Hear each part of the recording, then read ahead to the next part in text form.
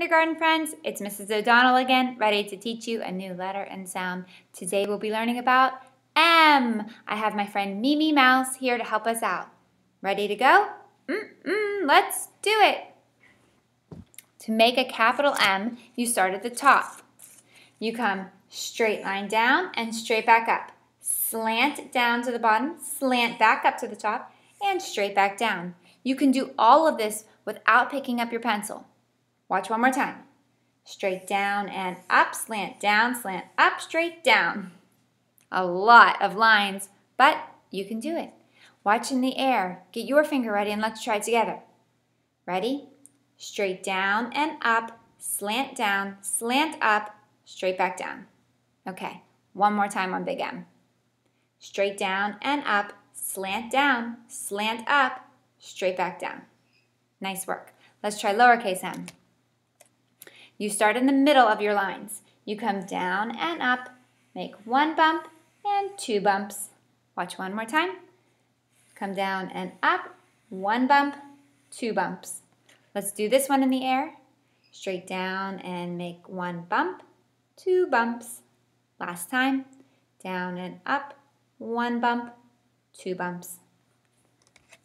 When you make the sound for M, you keep your lips closed and you turn on your voice. It says, Mmm. Listen again. M says, Mmm. In fact, it kind of reminds me of thinking about something super yummy and delicious. When I think about M, I might think about marshmallows or muffins or maple syrup, anything that's super yummy. It says, mmm. You can rub your tummy and think about that delicious thing you like to eat. Our alpha friend for this week, we just met her a few minutes ago. It was Mimi Mouse. And some more things I have that start with the letter M include mop, mule, mix, map.